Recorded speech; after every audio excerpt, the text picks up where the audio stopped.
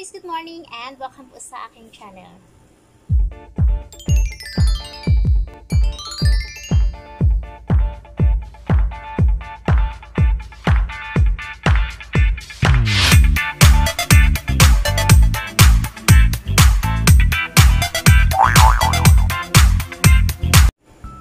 So ngayong umaga guys, mag-open po tayo ng mga uh, i-deliver sa akin na mga paninda na pandagdag uh, pagkakakitaan po dito sa aking sari-sari store. So, kasama na po dito siguro yung uh, pandikit para po sa daga. Kasi nung in-order ko po sila, isang orderan lang lahat at sabay-sabay po dumating. Pero may naiwan, hindi ko po alam kung ano po yung mga naiwan. So, simulan na po natin guys para po uh, uh, makita nyo na.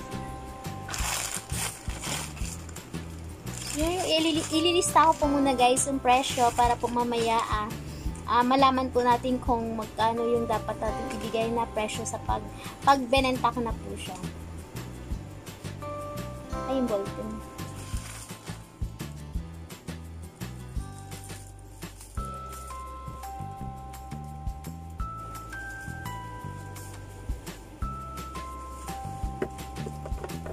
So, last time guys, uh, meron din akong tinda. Actually, hanggang ngayon po, meron po tayong mga plastic pot. Uh, binili po namin last time yun sa city. Kaya nga lang hindi po kami nakakapamili minsan dahil nga po uh, mahirap yung paradhan doon. So, ginawa ko, tinry ko po order uh, online. At titina ko rin po kung okay naman yung presyo. So, sa online na lang po tayo o, o order ng ating pantinda para po hindi hindi ganun kaabala pag tayo po yung namimili ng mga groceries. So, meron po tayong 1, 2, 3, 4, 5, 7, 8 balot nito. So, pwede ko siya ibenta uh, per balot. Pwede ko rin po siya ibenta ng pira-piraso. Pero usually dito, pag bumili sila ay pira-piraso lang naman. And then, yung isang po,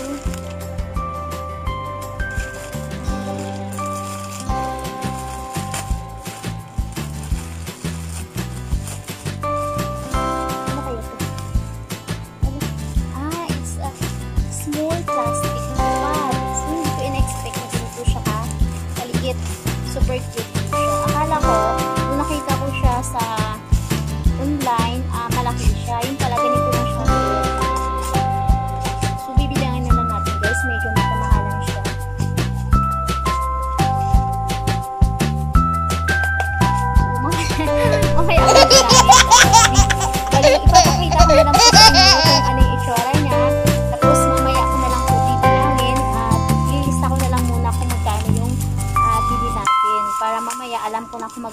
yung bentahan.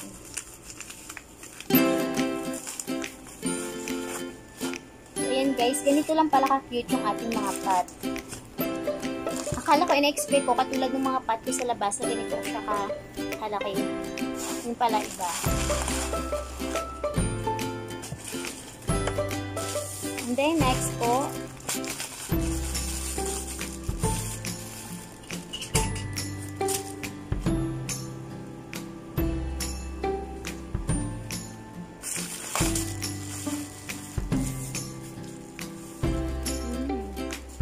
kasama siyang, may free siyang buto.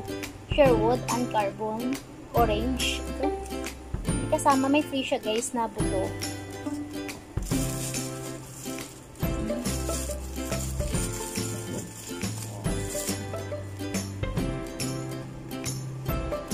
So, dito po mayroon po tayong apat na pack. So, tingnan natin guys sa isang pack kung ilang peraso po yung laman. Ah, kunti-kunti lang muna yung order ko guys kasi hindi ko pa siya kasi nakita. Personally unlike po nung last time nung sa city kami bumili alam ko na. Kaya alam ko na kaagad kung magkano bentahan ko. So ito hindi ko pa alam kung uh, tama lang ba yung mapapresyo natin dito doon sa laki niya. 3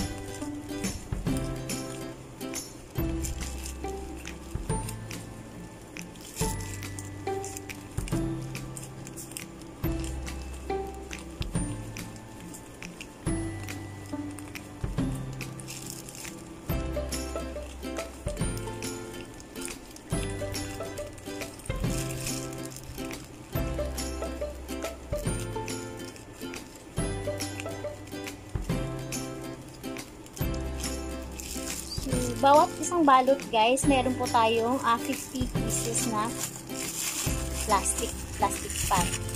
So, mamaya ko na po siya lalagyan ng presyo. So, bali ito sila yung 347. Ilan ba ito? So, next.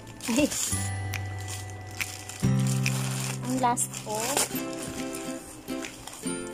Ito na yung para sa daga. Ito po yung ating uh, blue board. Napaka-effective po nito guys. Kasi, uh, in how many months nagkaroon ng daga, wala po akong nakita na mabilihan nito. So, nag-try ako online, may nakita ako. So, a day that day na i-deliver siya, kinumagahan, may nakita kaming patay na daga o diba? Ganun siya ka-effective. How many months na may daga dito, uh, hindi siya, hindi namatay kasi wala kaming, uh, wala pa kami nito or wala kaming pandason. And then, kung kailan kami umorder and, the, and then that day, na parating na siya ay hindi pa hindi pa namin siya nagamit namatay na yung daga so ganun ka epekto So, ayun guys, naipakita ko na sa inyo yung aking mga in-order online na pwedeng dagdag pagkakakitaan dito sa aking sari-sari store. So, sana may na nakuha kayong uh, ano yun, nagdagdagan yung kaalaman nyo. Uh, pwede nyo rin try to sa inyo dito sa amin kasi mga tao, mahilig po sila sa pot. Kaya yung mga pot ko last time, uh, mabilis lang po siya maubos. Meron po akong iba't ibang size na pot. Hindi ko na po siya nakuhanan ng video kasi every time na mamimili, nagmamadali din po ako. So, katulad ngayon, para ako hinahabol. So, dito ko na po tatapusin yung aking video. Thank you so much for watching and please don't forget to like, subscribe, at pakiclick na rin po ng inyong mga notification bell para po ma-update kayo every time na may bago po akong upload. Thank you so much for watching.